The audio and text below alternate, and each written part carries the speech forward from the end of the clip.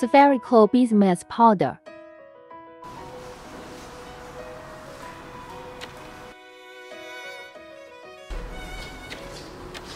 Low melting point, brittle and easy to crush. Pure conductivity and thermal conductivity. Applications